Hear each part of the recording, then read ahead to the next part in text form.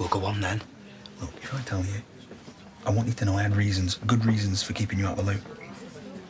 Right, and I'm only telling you now because, well, we talked about trusting each other. It was Ross. He did it for Andy. They had some kind of twisted deal where Andy was going to do the same for him. But it never happened. So in the end, it was down to him. My brother.